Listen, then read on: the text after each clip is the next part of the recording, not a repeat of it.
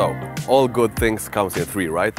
Everybody knows that. So we have two more dishes for you that's gonna be excellent on your e-barbecue. So we will need butter, because we're gonna, gonna make a compound butter with garlic, chili, and parsley. So we'll start with the garlic. Take off the nod. Smash it to remove its little pajama. And then you can use a garlic press. I prefer to chop it.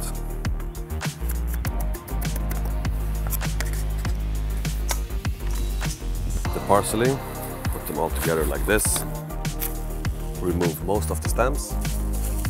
And then I just roll it up.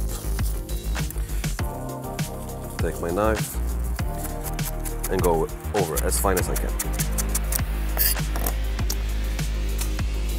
Goes the parsley. The chili fruit, I like it hot, so I'll keep the seeds. If you don't like it hot, lose the seeds.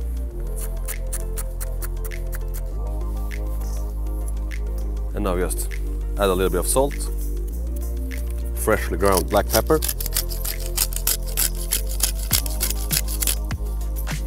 and we just mix it up until we have a homogeneous, smooth compound butter. So, now take a piping bag, fill it up with our compound butter. So, now this is prepared. Now we'll take our scallop shells. When you buy scallops like this individually without the shell, there is a small muscle on them. You see it here, it's on all of them. This one you will remove it because it's not pleasant in the mouth.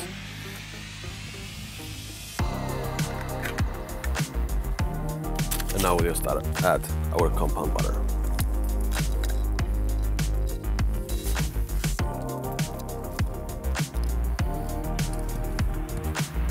Open up our grill. Put it like this. And close the lid and just wait for the magic to happen. The scallops is ready any minute, so uh, we'll have to present them in a nice way. And this one, this trick, you will learn it and you will probably use it your whole life.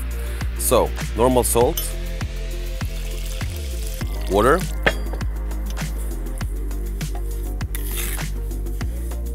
and what have we done? We've done snow. So we put a little piece of snow like this.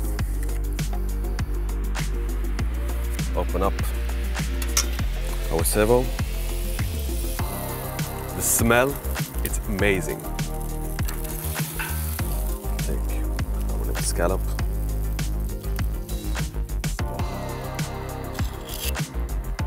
And we'll finish it with a little bit of salt.